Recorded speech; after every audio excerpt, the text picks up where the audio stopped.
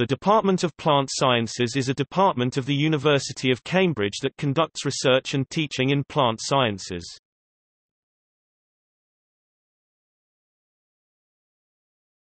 Topic: Research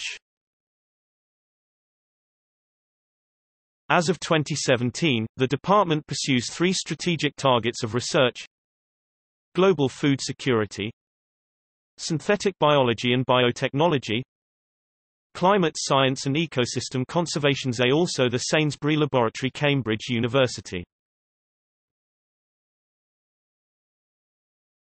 Topic. Notable academic staff.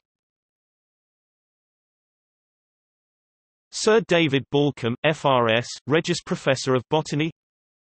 Beverley Glover, Professor of Plant Systematics and Evolution, Director of the Cambridge University Botanic Garden Howard Griffiths, Professor of Plant Ecology Julian Hibberd, Professor of Photosynthesis Alison Smith, Professor of Plant Biochemistry and Head of Department as of 2017. The department also has 66 members of faculty and postdoctoral researchers, 100 graduate students, 19 Biotechnology and Biological Sciences Research Council BBSRC doctoral training program DTP PhD students, 20 Part 2 Tripos undergraduate students and 44 support staff.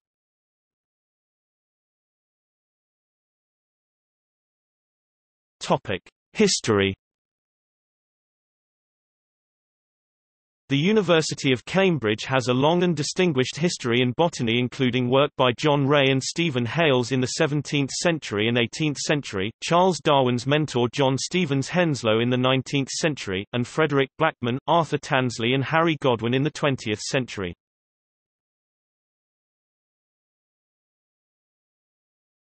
Topic: Emeritus and alumni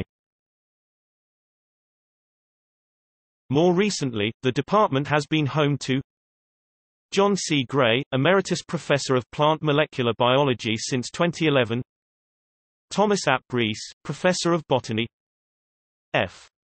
Ian Woodward, Lecturer and Fellow of Trinity Hall, Cambridge before being appointed Professor of Plant Ecology at the University of Sheffield